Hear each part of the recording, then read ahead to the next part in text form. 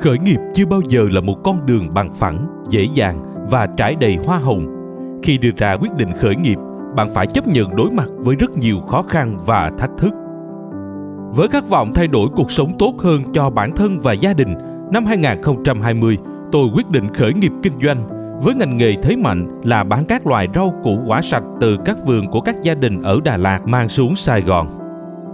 Trong giai đoạn đầu phát triển, doanh nghiệp của tôi hoạt động khá ổn định với 7 nhân viên phân loại, sắp xếp và bán hàng ở trung tâm quận 10 với lượng khách hàng đều đặn mỗi ngày.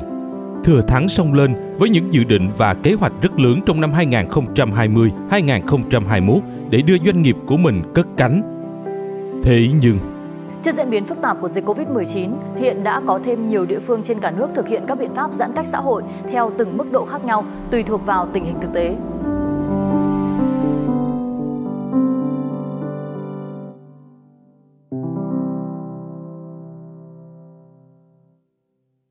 Đổi mới hay là chết.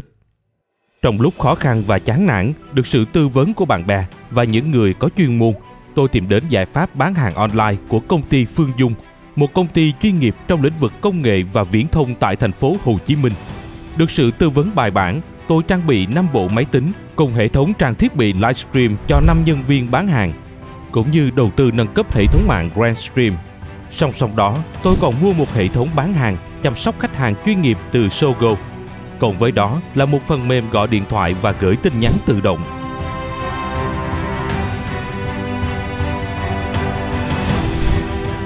Được trang bị hệ thống bán hàng chuyên nghiệp, bây giờ công ty đã vượt qua được giai đoạn khó khăn và bắt đầu có những chuyển biến tích cực.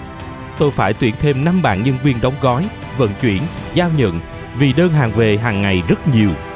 Công việc bây giờ của tôi cũng nhẹ nhàng hơn trước các số liệu báo cáo, chỉ số phát triển doanh nghiệp được cập nhật từng ngày, từng tháng thông qua hệ thống bán hàng.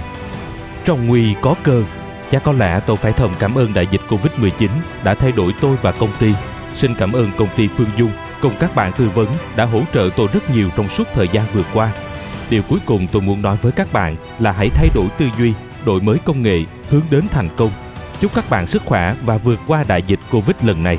Xin chân thành cảm ơn.